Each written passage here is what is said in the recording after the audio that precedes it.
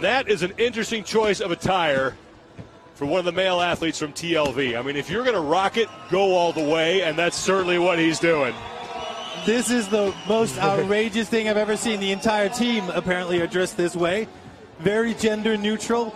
Not sure if it's going to help your uh, your movement in the snatch or your bottom position or anything like that, but they're doing good right now. That is Avi Yona rocking the sports bra.